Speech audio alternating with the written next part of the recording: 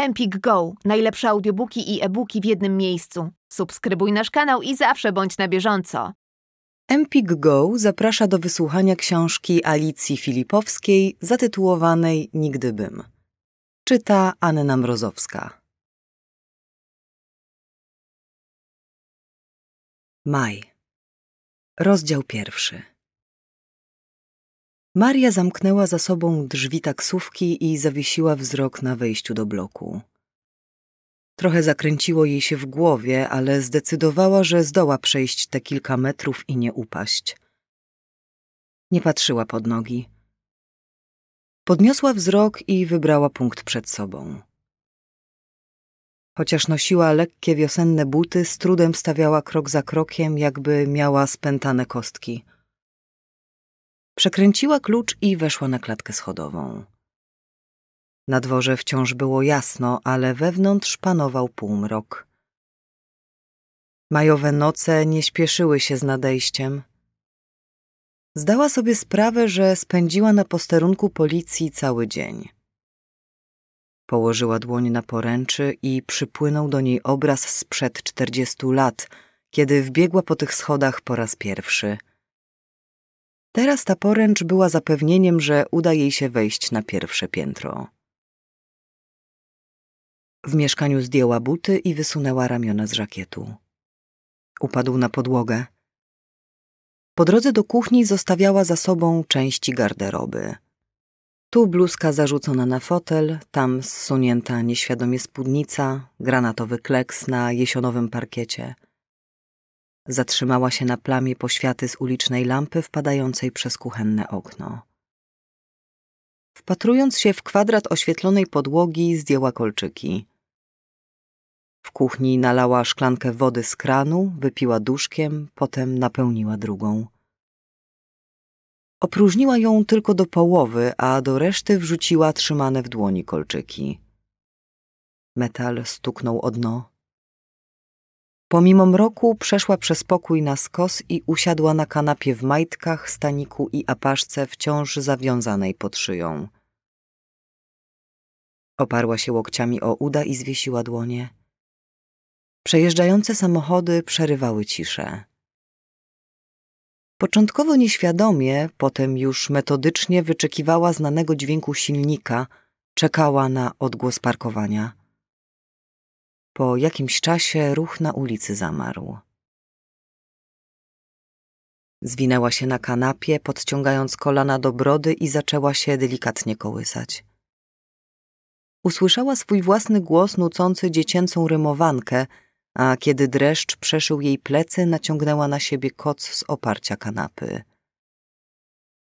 Wydawało się jej, że zasypia, potem znowu, że tylko wyobraża sobie sceny z mijającego dnia. Nie umiała ich jednak zatrzymać, przebiegały jej przed oczami, galopowały w wyobraźni, na żadnej nie mogła się dłużej skupić. Jak odwracane w kalejdoskopie obrazki migały jej sceny z posterunku policji, pakowania koszyka z jedzeniem na działkę, gorączkowych poszukiwań Teodora na parkingu, jazdy taksówką, ogłuszającego pulsowania krwi w skroniach, kiedy policjant czytał jej list. Wysunęła się spod koca i powlokła do telefonu. Poszukała dłonią włącznika światła. Przez chwilę w stuporze wpatrywała się w tarczę, potem bezwiednie wybrała numer Tadeusza. Zanim jednak ktoś zdążył podnieść słuchawkę po drugiej stronie, przycisnęła palcami widełki. Ciągły sygnał zaświdrował jej w uszach. Wzięła aparat do ręki i wróciła na kanapę, ciągnąc za sobą czarny kabel. Ustawiła telefon na podłodze i wsunęła się pod koc. Położyła się na boku i wpatrywała w niego z dłonią wsuniętą pod policzek. Zadzwoni, w końcu zadzwoni. Ten list pewnie napisał wiele dni temu, w przypływie jakiejś złej chwili. Pewnie powiedziałam mu coś do słuchu. Na język przecież nie choruje. Ale dzisiaj, gdziekolwiek jest, zadzwoni. Przecież nawet po najgorszym dniu nie kładliśmy się spać pokłóceni. Co ten policjant mówił, że list dostali w tamtym tygodniu? Zamrugała, jakby paproch wpadł jej do oka, poczuła ściśnięcie w gardle i pociągnęła za apaszkę. Może to ona ją dusiła. Usiadła, koc opadł jej z ramion, odsłaniając plecy. Szarpiąc, rozwiązała supeł pod szyją. Jeśli dostali go w zeszłym tygodniu, a list nawet w Lublinie idzie dwa dni, to musiał go wysłać przed sobotą. Nerwowo skubała rąbek apaszki, starając się wyrównać oddech. Przed oczami przebiegł jej cały tydzień, dzień po dniu, niczym przesuwające się slajdy. W piątek padało. Teodor wrócił przemoknięty, poszedł na pocztę zapłacić rachunki. W sobotę rano poszedł na targ, potem pojechali na działkę.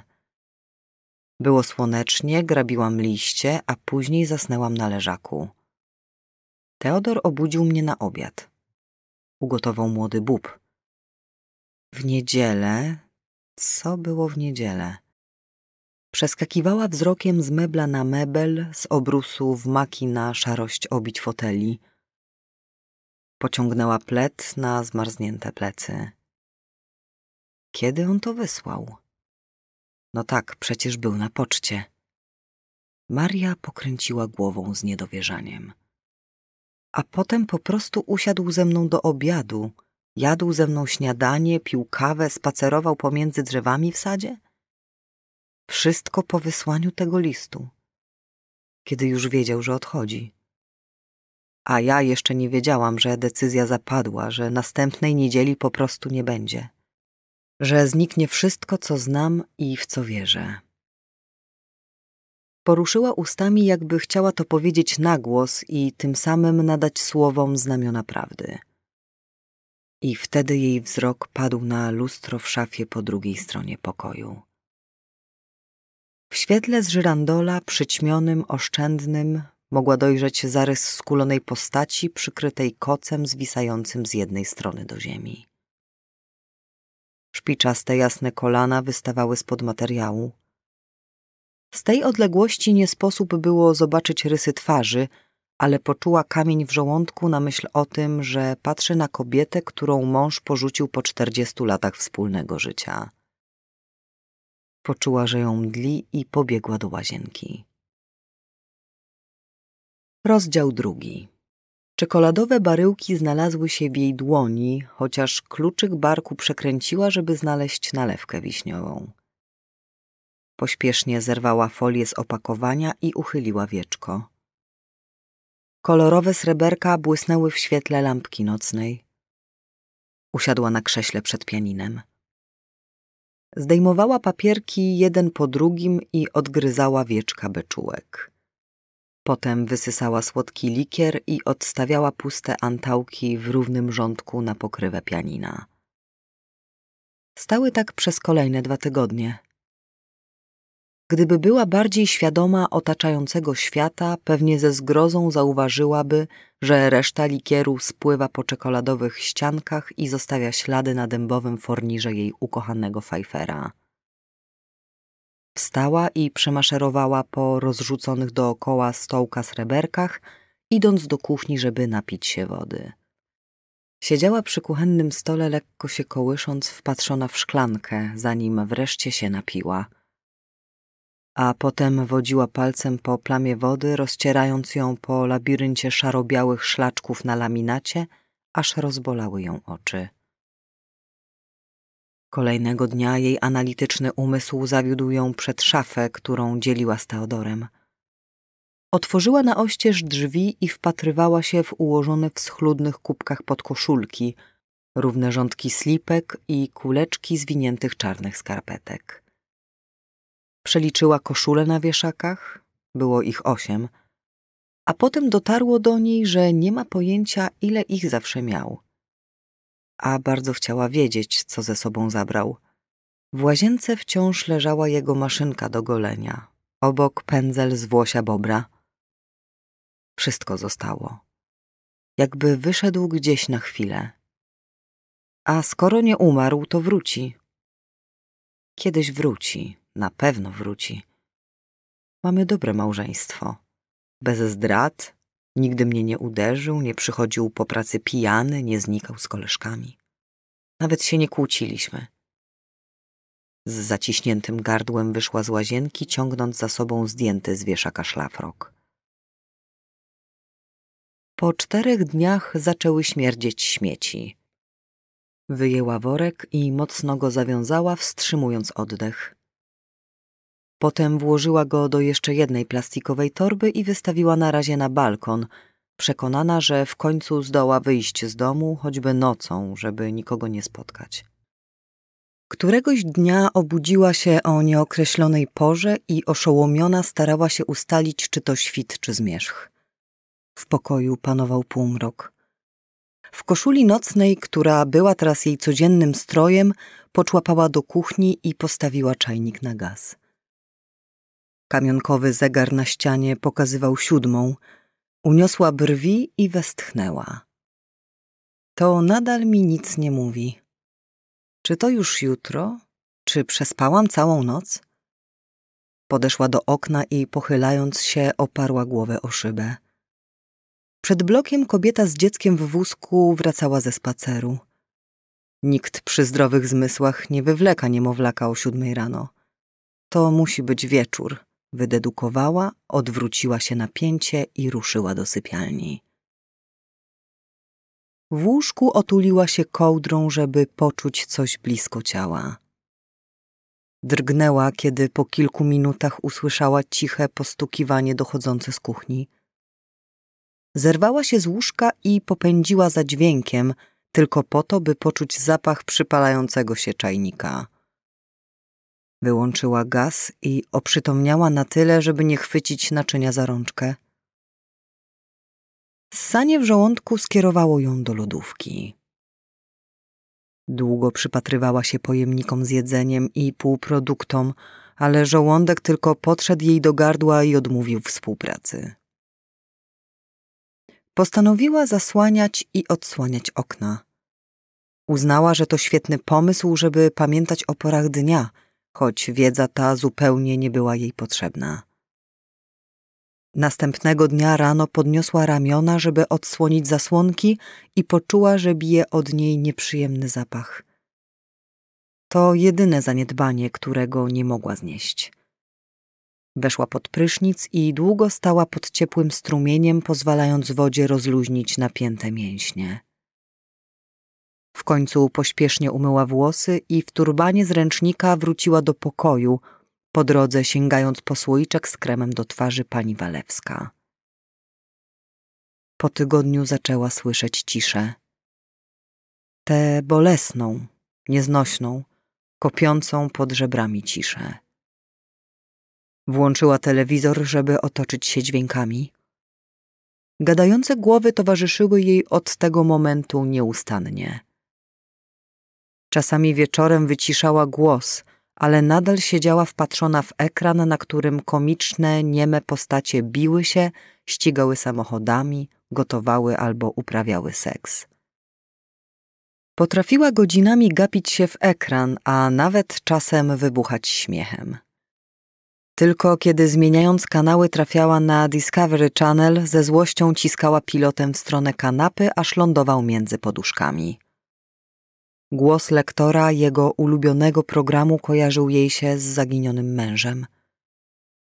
Kiedy nie patrzyła w ekran, jej wzrok płynął po ścianie naprzeciwko foteli i kiwała lekko głową, jakby aprobując położenie każdego przedmiotu komody, obrazu czy ramek ze zdjęciami.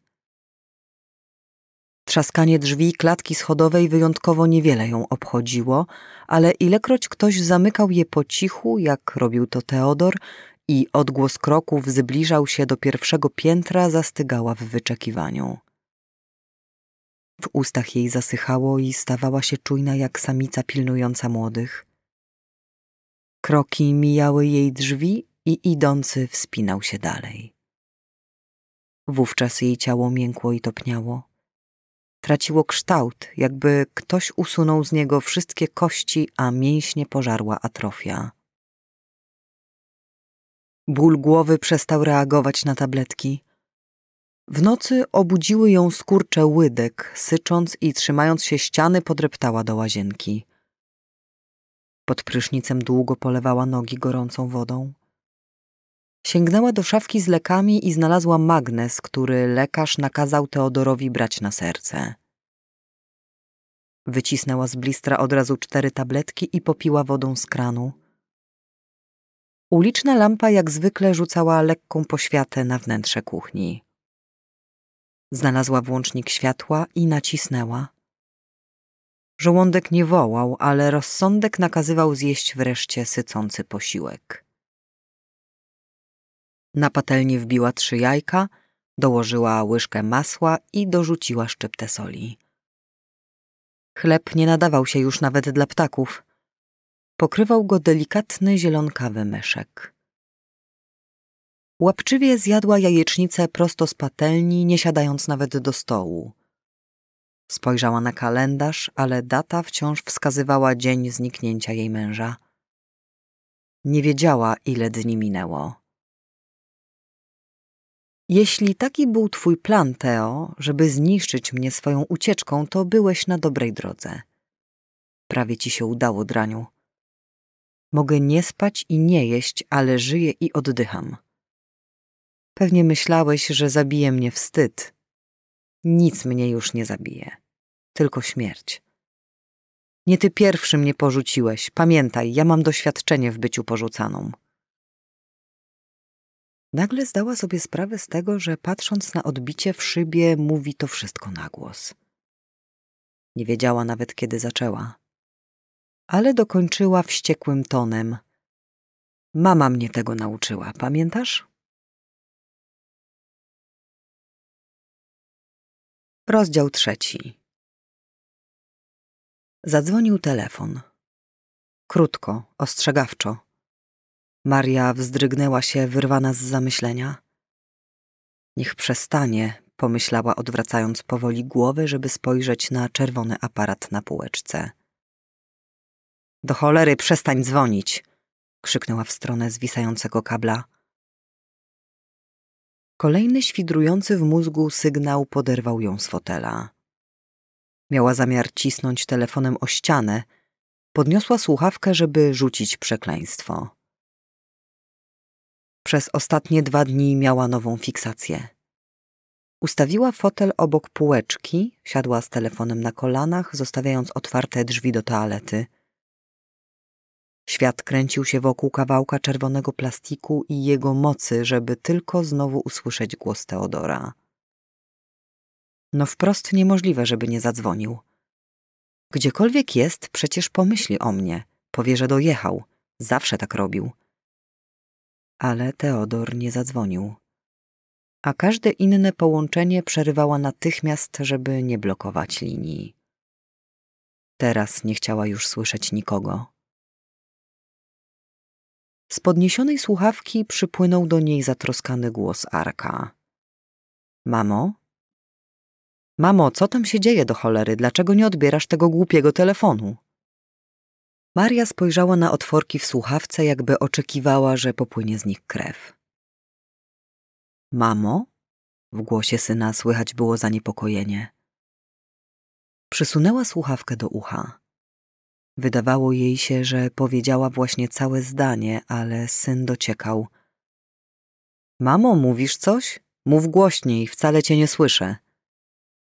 Przełknęła ślinę, odchrząknęła, jakby miała wyrecytować wiersz na akademii szkolnej. Ojciec zniknął, wyszeptała, nie poznając własnego głosu. W skroniach poczuła ucisk. Przesunęła dłonią po czole. Ojciec zaginął, a właściwie nie zaginął, wyjechał. Zawiesiła głos na chwilę. Chyba mnie opuścił. Na zawsze dorzuciła. Cisza po drugiej stronie zmusiła ją do kontynuowania. Zostawił list. Nie do mnie właściwie, na policji. Chyba go wysłał do nich, no ale nie ma go tu. Nawet nie wiem, gdzie jest. Nic nie zabrał. Czuła, że dorzucając kolejne strzępy informacji, opowiada to sama sobie. Ale jak to zniknął? Jaki list? Czemu nie zadzwoniłaś? A w szpitalach sprawdzałaś? Co mam sprawdzać? Przecież zostawił list. Chyba, że w psychiatrycznym szpitalu powinnam sprawdzić. Znowu poczuła wściekłość. Po drugiej stronie słuchawki w swoim katowickim mieszkaniu Arek poszukał ściany i zjechał po niej plecami, siadając na podłodze w przedpokoju. Spróbował przypomnieć sobie twarz ojca. Pierwsze, co zobaczył, to charakterystyczny ruch ręki odgarniającej włosy z czoła i przygryzany od środka policzek. Przycisnął słuchawkę ramieniem. Ale co się stało wcześniej? Co mu powiedziałaś? Pokłóciliście się? Przecież wy nigdy się nie kłócicie. Co ty teraz zrobisz? Skąd weźmiesz pieniądze? Arek wyrzucał z siebie urywki nieskładnych myśli. Jak to co będzie? Nic nie będzie, co ma być? Jakoś będę żyła dalej. Przecież nie położę się i nie umrę, czekając aż wróci. Nadała swojej wypowiedzi zdecydowany ton. Słysząc własne słowa, znowu nabrała pewności siebie. Odsunęła słuchawkę od ucha i spojrzała z niedowierzaniem, jakby sam przedmiot wydawał jej się niestosowny. A poza tym, jakie pieniądze? Przecież ja mam pieniądze. Nie będę o tym teraz rozmawiać. Zadzwoń kiedy indziej, muszę kończyć. Jak to kiedy indziej? Jego głos nabrał ostrości. Co dzisiaj jest środa? Nie, czwartek. Wezmę dzień urlopu i jutro przyjadę. Nie rób niczego głupiego. Do zobaczenia. Rozłączył się. Maria stała przez chwilę, wsłuchując się w ciągły sygnał, aż rozbolało ją ucho, po czym odłożyła słuchawkę. Spokojnym ruchem wyjęła wtyczkę ze ściany, owinęła aparat czarnym kablem i schowała go na dno stojącej obok szafy. Nie chce już słyszeć nikogo. Choć niby kto miałby zadzwonić. Podeszła do stolika i podniosła talerzyk z nietkniętymi kanapkami. Czując, że nic nie przełknie, w kuchni zsunęła je do kosza. Bezsilna przysiadła na kuchennym taborecie i oparła głowę na zgiętym ramieniu. Ale jak to nie zrób nic głupiego? Co niby miałabym zrobić? Zabić się? Szukać go? Gdzie mam go szukać? Po co? Skoro wyszedł jak stał i poszedł diabli wiedzą gdzie po tych wszystkich latach. No i napisał przecież, że nie chce być znaleziony. I o co Arkowi chodziło z tymi pieniędzmi, że nie będę miała pieniędzy? Naciągnęła szlafrok na odsłonięte kolano i zaczęła bezwiednie zdrapywać resztki czerwonego lakieru z paznokci. Oskubane płatki spadały na beżowe kafelki, jakby kropelki krwi skapywały z jej palców. Zatrzymała się w półruchu i zacisnęła szczękę, kiedy dotarło do niej, o czym mówił Arek. On się bał. Bał się, że skończą się comiesięczne przelewy, które mu robiła od kiedy skończył studia i poszedł do pracy, która nie była pracą marzeń, a pensja nawet nie pretendowała do miana średniej. Ale to było osiem lat temu. Bał się, że teraz, kiedy zabraknie dodatkowych pieniędzy zarabianych przez ojca ze sprzedaży sadzonek i warzyw ze szklarni, matka zakręci mu kran. Wzdrygnęła się i poczuła, jak żołądek wędruje jej do gardła. Dopadła do zlewu i pochyliła głowę, ale tylko odbiło jej się pustką. Oparła dłonie na blacie i kołysała się powolutku, zbierając myśli. Kim oni są? Mój własny syn. Mój własny mąż. Co do cholery właśnie się wydarzyło? Odkręciła kran i nabrała w garść zimnej wody, najpierw upiła dwa łyki, potem opłukała twarz. Myśli zbierały się w krótkie slogany wyświetlane jak neony w jej wyobraźni. Podpływały do niej, a ona szukała rozwiązań i odpowiedzi w swoim analitycznym mózgu. Kiedy ostatni napis odpłynął, ruszyła w kierunku szafy, żeby się ubrać i pójść do banku.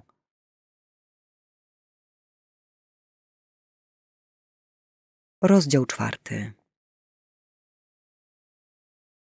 Jako pierwszy dotarł do niej zapach lata o poranku.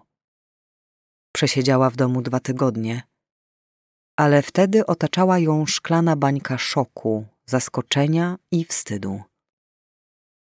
Teraz pozostało już tylko zakłopotanie. Odetchnęła głęboko i powoli wypuściła powietrze. Bardzo nie chciała spotkać nikogo z sąsiadów. Pragnęła czmychnąć między blokami niezauważona. Wyjść na ulicę lotniczą i wmieszać się między ludzi, którzy nie znali ani jej, ani jej męża. Przez chwilę rozważała pójście inną niż zwykle drogą. Co za idiotyzm?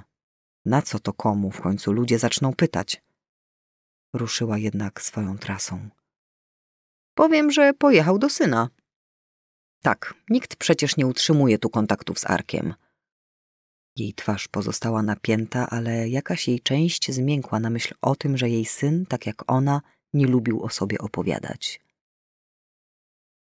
Przyroda wokół niej, chociaż miejska i uboga, rozpychała się łokciami i w pełni już obsypanymi liśćmi, krzewami i drzewami. Światło słoneczne przebijało się pomiędzy gałęziami, rzucając nieregularne plamy na chodnik. Nic więcej się nie zmieniło. Bloki te same, ławeczki obłażące z zielonej farby, dziury w chodniku. Ale Maria patrzyła na otoczenie, jakby była tu po raz pierwszy. Jej nogi poczuły, dokąd mają zmierzać i postanowiła, że pójdzie pieszo aż do ogrodu saskiego. O, jak miło panią zobaczyć! Radosny młody głos dotarł do niej z naprzeciwka.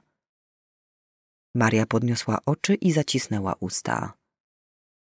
Ciepło oblało ją od szyi, spłynęło aż do brzucha, a ten zacisnął się w supeł. Masz ci los, szepnęła do siebie, czując nawrót paniki. Młoda, drobna kobieta w ogromnych okularach przeciwsłonecznych stała, uśmiechając się od ucha do ucha, aż w policzkach pojawiły jej się dołeczki. Mariola Krasucka, kobieta zsunęła okulary. Córka Bajdakowej, dorzuciła, jakby chciała, żeby Maria połączyła ją w głowie z odpowiednią osobą, a nie z jakąś krasucką. Jej kwiecista sukienka powiewała na lekkim wietrze, który przypłynął z pomiędzy bloków. Przestąpiła z nogi na nogę, stuknęły obcasy i Maria spojrzała w dół na turkusowe sandałki na wysokiej szpilce, zawiązane delikatnymi sznureczkami do połowy zgrabnej łydki.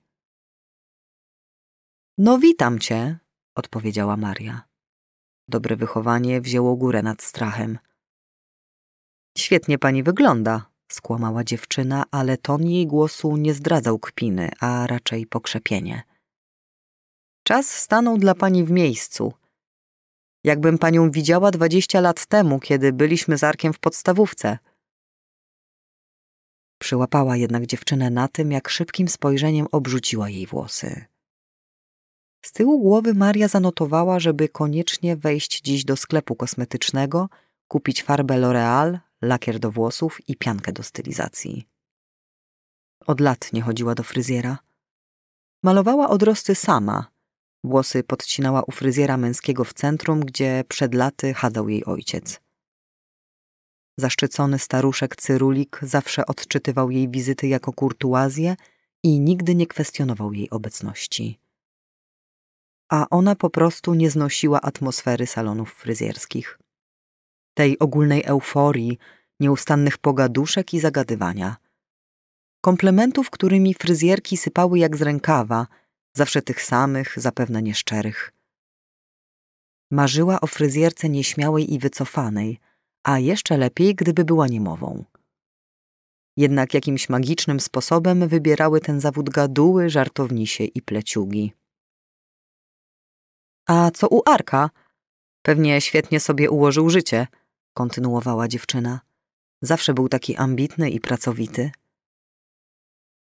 Maria poczuła, jak ściska rączkę torebki, aż paznokcie wbiły się w dłoń. Posłała uśmiech w stronę Mariolki, ale pomyślała, za to ty ambicji nawet nie powąchałaś. No chyba, żeby szybko wyjść za mąż i być na czyimś utrzymaniu – na głos jednak powiedziała: Troszkę się śpieszę, dobrego dnia. Och tak, oczywiście, gapa ze mnie, że tak panią zagaduję. Jeszcze tylko chciałam... Jestem taka szczęśliwa, otwieram zakład kosmetyczny w tym lokalu, gdzie kiedyś był zegarmistrz. Wskazała dłonią na blok obok. Gdyby chciała pani czasem zajrzeć, chętnie zrobię pani jakiś fikuśny manikur. Dziewczyna musiała już wcześniej zauważyć niepomalowane paznokcie Marii. Zakład po zegarmistrzu? Dziecko drogie to przecież klita z widokiem na śmietnik. I co, będziesz jechała z drugiego końca miasta? Maria nie wiedziała, gdzie mieszka dziewczyna.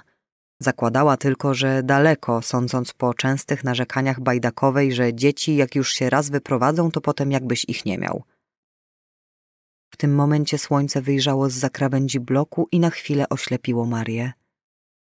Odruchowo zrobiła krok w bok, jakby chciała uniknąć dalszej rozmowy. Mariolka zatrzepotała powiekami i opuściła wzrok, przygryzła wargę, a jej szyję usiały czerwone plamy. Och, to tylko tak na początek, bo administracja wynajęła mi bardzo tanio. Potem na pewno poszukam czegoś innego. Przeszłam się po okolicy i nie ma tu żadnej kosmetyczki, więc pomyślałam, że zawsze ktoś na henne wpadnie, a kobiety zaczną teraz wydawać więcej pieniędzy na siebie. Bąkała pod nosem zawstydzona. Maria wzruszyła ramionami. Najważniejsze, że zaczniesz pracować i dołożysz coś od siebie do domowego budżetu. Mąż będzie zadowolony. Była już gotowa wyminąć dziewczynę i ruszyć w swoją stronę, kiedy tamta dorzuciła zdecydowanym tonem: Odeszłam od męża. Wyprężyła drobną pierś, jakby czekała na przypięcie medalu. Maria odchrząknęła, nie była teraz gotowa na egzystencjalne rozmowy, sama ledwo co ubrała się dziś rano i podjęła decyzję o wyjściu między ludzi. Ale jakaś niewidzialna strzała bólu przeszyła jej serce na myśl o tym, że dziewczyna jest w życiu w podobnym miejscu. Sama. Ma pani piękny kształt paznokci, takie migdałowe. Teraz to rzadkość, wszystkie kobiety piłują w kwadrat. Wiele można powiedzieć o człowieku po jego paznokciach – Mariola zmieniła temat i wydawała się znowu pewniejsza siebie. Może powinnaś zostać handlowcem, taka jesteś wygadana. Nie odczytując sarkazmu, dziewczyna rozpromieniła się.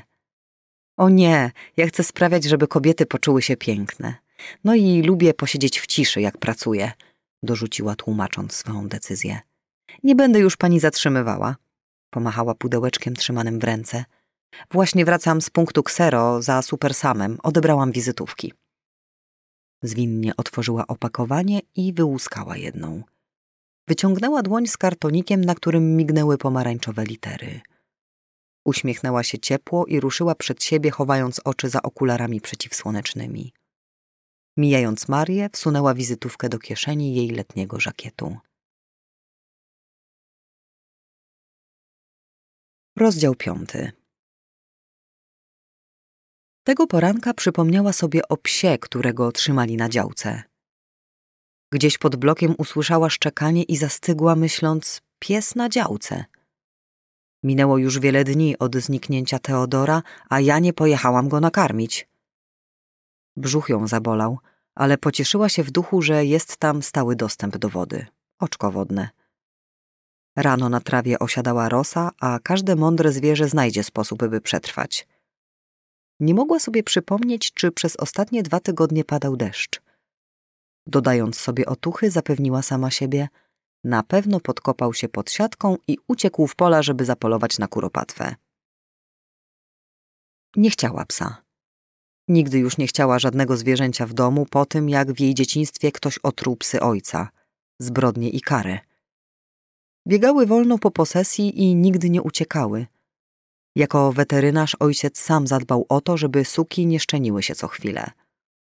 Były spokojne i przyjazne, ale bardzo szczekliwe, kiedy ktoś zbliżał się do domu. Dlatego po ich nagłej, tragicznej śmierci ojciec wypłakiwał oczy, wiedząc, że zginęły z ręki kogoś znajomego, kogo dopuściły do siebie z miską jedzenia. Ta myśl raniła go jeszcze mocniej, bo uważał się za przyjaciela ludzi i nie mógł pojąć, że ktoś może mu źle życzyć. Kiedy Teodor naciskał, uległa w końcu jego namowom pod warunkiem, że Argos nie będzie mieszkał z nimi w bloku. Teodor nie przywoził go do domu, nawet kiedy pies chorował, tylko nocował z nim, śpiąc na wytartym tapczanie w domku na działce. Obawiając się o los porzuconego psa, Maria wyruszyła na działkę. Dzień był upalny. Nagrzany chodnik oddawał ciepło i zanim doszła na przystanek, poczuła się zmęczona. Zajęła miejsce w dusznym autobusie na podwyższeniu w ostatnim rzędzie. Pocieszała się, że automatyczne drzwi będą się co chwilę otwierać na przystankach i wpuszczać powiew świeżego powietrza z ulicy. Szybko jednak zmieniła zdanie, bo jedyne co czuła to spaliny. Przeklinała swoje czułe powonienie. Czy ludzie naprawdę nie wiedzą, że w sklepach można kupić dezodoranty? Ileż trudu wymaga wzięcie prysznica rano, czy choćby umycie pach? Rzadko korzystała z komunikacji miejskiej. Wszędzie chodziła piechotą, a jeśli trzeba było pojechać dalej, jechali samochodem. Czasami brała taksówkę, jeśli złapała ją na mieście ulewa albo wracała z ciężką walizką z dworca, a Teodor nie mógł jej odebrać. Dziś odrzuciła pomysł jazdy taksówką jako zbędny wydatek. Teraz żałowała swojej decyzji. Ogarnęła ją lekka paranoja, że wszyscy na nią patrzą. Wyobrażała sobie, że pasażerowie w fotelach naprzeciwko wpatrują się w nią, jakby piętno porzucenia przez męża miała wypisane na twarzy. Zacisnęła mocno kolana, przeświadczona o tym, że mężczyzna z brodą siedzący obok okna przygląda się jej nogom. Opuściła głowę, ale lustrowała pasażerów spod oka i kiedy tylko jej wzrok krzyżował się z czyimś, podnosiła oczy i wpatrywała się hardo, aż zakłopotany człowiek odwracał spojrzenie. Ścisnęła usta w ciup i przełknęła ślinę. Kiedy pasażer obok wysiadł, przesunęła się na miejsce przy oknie i odwróciła twarz do szyby. Jakoś dotrwam, pomyślała. Czemu ta droga tak strasznie się dłuży? Może jak będę liczyła przystanki, to czas zleci szybciej. I będę zwracała uwagę na piękne szczegóły, postanowiła.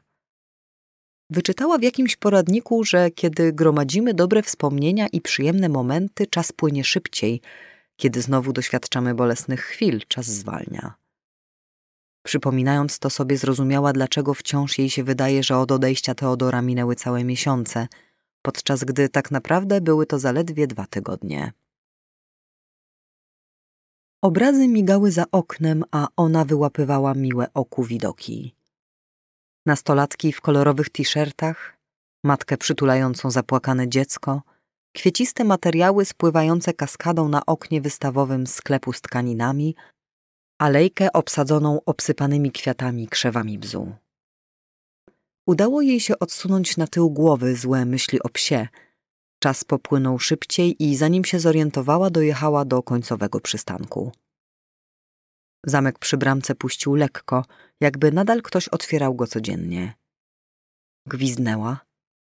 Idąc w kierunku domku, zawołała psa po imieniu. Nie pojawił się. Ścisnęło ją w gardle, kiedy zobaczyła odrośniętą trawę dookoła domku. Nigdy tak nie wyglądała. Rabaty tonęły w majowych kwiatach. Kielichy tulipanów chyliły się ku ziemi. Szafirki prężyły się wzdłuż alejki. Kiedyś w poprzednim życiu, tym z Teodorem, wystawiłaby leżak i spędziła popołudnie wśród kwiecistych grządek. Teraz ledwie rzuciła na nie okiem i ruszyła w stronę cieplarni, nawołując jeszcze psa, ale prawie już pewna, że na działce go nie ma. Jej serce zaczęło bić mocniej, gdy zobaczyła uchylone drzwi do pierwszej cieplarni i poczuła zapach wilgotnej ziemi. Przyspieszyła kroku, żeby potwierdzić swoje nadzieje. Spoconą dłonią otworzyła drzwi na oścież i weszła pomiędzy alejki pnących się po sznurkach pomidorów. Okienko wentylacyjne na końcu szklarni również było otwarte. Szybko poszła przed siebie, prawie nie zwracając uwagi na czerwone kiście, które aż wołały, żeby je zebrać. Ciśnienie zaszumiało jej w skroniach, kiedy pomyślała: Boże, on cały czas tu przyjeżdża, włącza podlewanie, wietrzy namiot. Czemu nie skosił trawnika? A może wysyła Tadeusza, a tamten nie myśli o koszeniu, kiedy wpada tu na chwilę? Na końcu alejki stanęła jak wryta. Zaskoczona pokręciła głową. Na kranie zainstalowano włącznik czasowy, który automatycznie uruchamiał zraszacze. Maria potarła twarz i krzyknęła na całe gardło. Do diabła z tobą, Teodor! Oburącz chwyciła urządzenie i zaczęła nim szarpać w obie strony raz za razem, aż urwała plastikową obudowę, a cyfry na wyświetlaczu zgasły. Wściekła wyszła z cieplarni. Pod domkiem usiadła na chybotliwej ławeczce i oparła się plecami o drewnianą ścianę, zadarła głowę i spojrzała na niebo. Nie mam już siły płakać.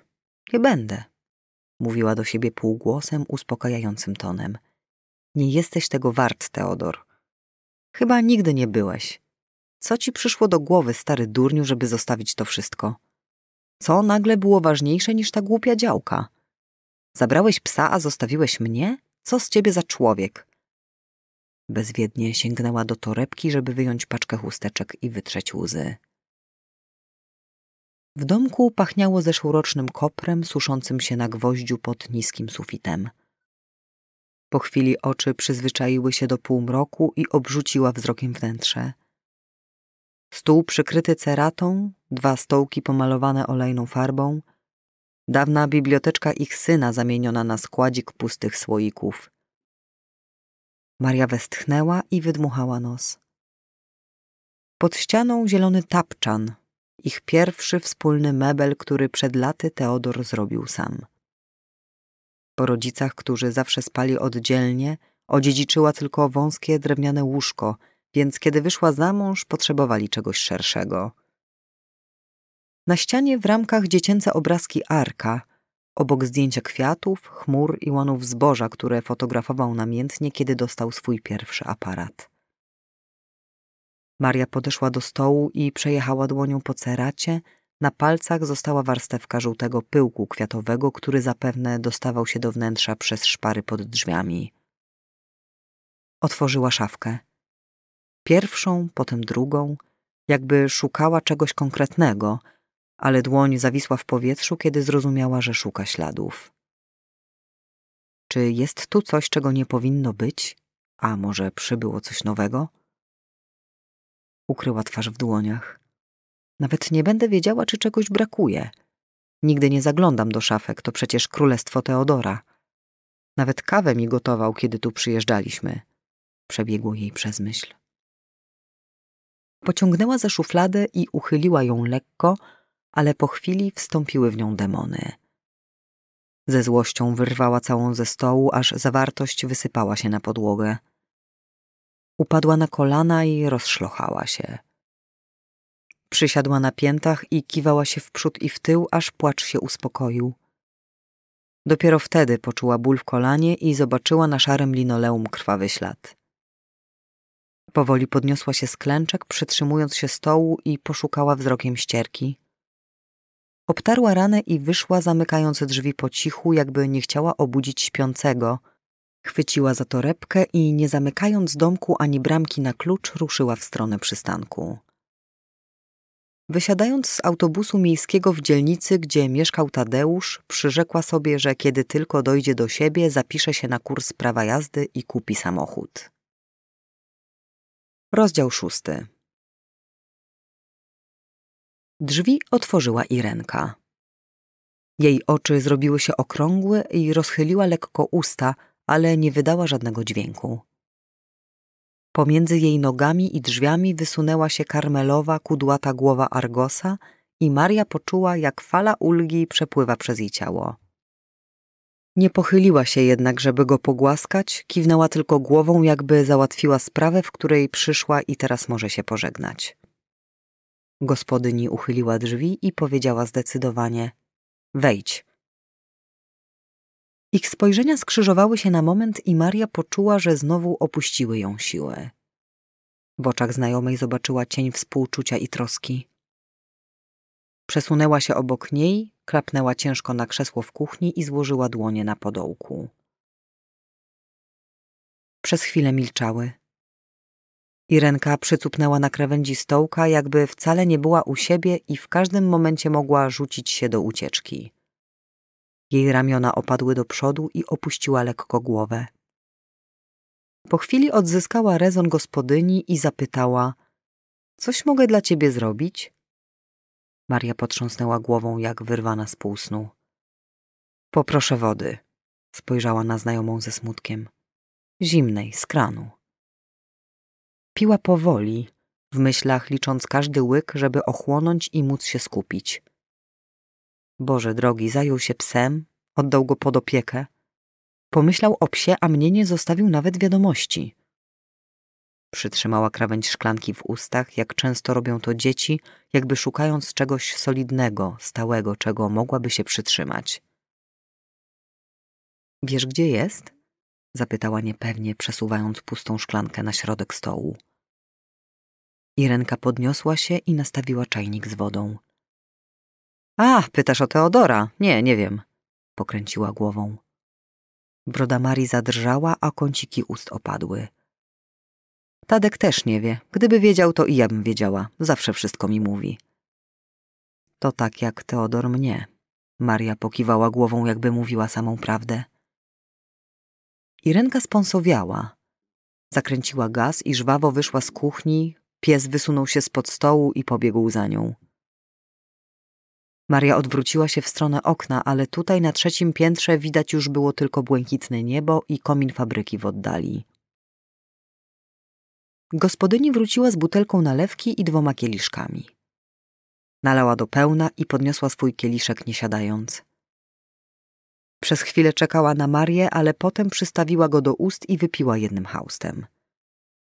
Maria spojrzała na kieliszek z bordowym płynem, pociągnęła palcem po kryształowym cięciu, powoli uniosła go na wysokość oczu i spojrzała przez szkło. Upiła malutki łyczek i przyglądała się kropelce nalewki, która powoli spływała po ściance. Potem wypiła resztę i poczuła ciepło rozchodzące się po przełyku i schodzące do brzucha. Podniosła pusty kieliszek przed twarz Irenki, która dolała nalewki i obie wypiły następną kolejkę. Maria pomyślała, że jeśli wypije jeszcze jeden, to spadnie ze stołka. Pochyliła się nad stołem i oparła na nim łokcie. Gdyby ktoś spojrzał teraz przez okno, pomyślałby, że dwie przyjaciółki usiadły przy kuchennym stole, żeby wymienić się plotkami, podzielić troskami, może doradzić w kłopotliwej sprawie, przyszło jej na myśl. Ale ja nie mam nic do powiedzenia. Nie patrzyła już na Irenę, ale ona spoglądała na nią ze smutkiem i troską w oczach. Gdyby nie obawiała się reakcji, wyciągnęłaby dłoń i poklepała Marię po ramieniu – nie zrobiła tego, bo chociaż znały się od kilkudziesięciu lat, nigdy nie zawiązała się pomiędzy nimi nic sympatii ani porozumienia. Dla Marii Irena była tylko żoną przyjaciela jej męża. Troszkę nią gardziła z powodu jej niepełnego wykształcenia. Zupełnie nie rozumiała jej fascynacji pieczeniem, robieniem przetworów i popołudniowymi serialami. Od Teodora wiedziała, że kiedy Irena zabiera się za sprzątanie, cała rodzina wybywa z domu – nie chcąc wchodzić w drogę pedantce, która myje każdą żabkę w karniszu, zanim powiesi świeże firanki. Maria lubiła porządek, ale nie oddałaby za sprzątanie życia, a Irena swoje życie poświęciła dla domu i rodziny.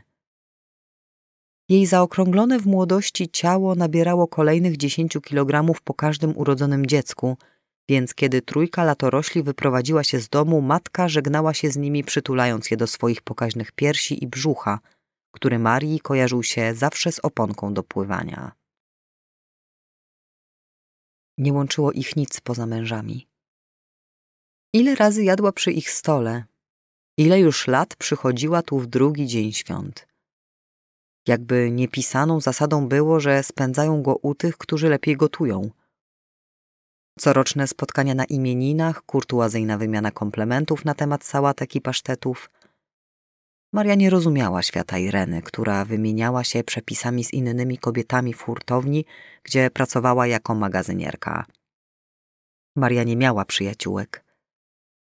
Czy teraz jakiś potrzebowała? Czy mogłaby opowiedzieć Irenie o tym, co przeżyła przez minione dwa tygodnie? Czy powinna jej powiedzieć, jak bardzo boi się być sama? Pokręciła głową do swoich myśli i zdecydowanie przesunęła kieliszek w stronę znajomej. Może zrobię coś do jedzenia, zaproponowała przytomnie Irena, widząc półuśmiech błąkający się na twarzy Marii. widok raczej jej nieznany. Nie mam nawet do kogo zadzwonić, zwierzyła się. A Arek? Maria machnęła ręką. Trzyma rękę na pulsie. Słysząc swój bełkotliwy głos, dorzuciła: Zjem kanapkę. Wyciągnęła rękę przez stół i chwyciła szklankę i jeszcze kropelkę wody. Irena wstała i otwierając szafkę odezwała się smutno z drzwiczek. Nawet nie wiem, jak ci pomóc. Maria jedną ręką podparła policzek i wysiorbała ostatnie krople nalewki z kieliszka. Szybko pochłonęła postawioną przed nią kanapkę z serkiem almette o smaku borowików, wypiła pół szklanki wody i podniosła się. Pójdę już. Zatoczyła się i przytrzymała stołu. Zaśmiała się krótko. Za ciepło dziś na picie. Spojrzała na zegarek i dodała – no, przynajmniej jest już po dwunastej, bo wiesz, damy nie piją przed dwunastą. Wydała usta w głupawym uśmiechu. Zamówię ci taksówkę. Poproszę. I jeszcze siusiu. Maria ruszyła w stronę łazienki. Świat jej wirował. Kiedy usiadła na klozecie, zauważyła zdarte kolano, które przestało już krwawić. Spuściła wodę i ściągnęła z siebie porwane rajstopy. Rozejrzała się szukając kosza, ale nie znajdując go wsunęła je za pralkę i zarechotała. Torebka! Irenka nasunęła jej pasek na ramię, gdy wyszła z łazienki. Taksówka będzie za pięć minut. Przy drzwiach wyjściowych Maria odwróciła się i zajrzała jej w oczy, przekrzywiając lekko głowę. Empik Go. Najlepsze audiobooki i e-booki w jednym miejscu. Subskrybuj nasz kanał i zawsze bądź na bieżąco.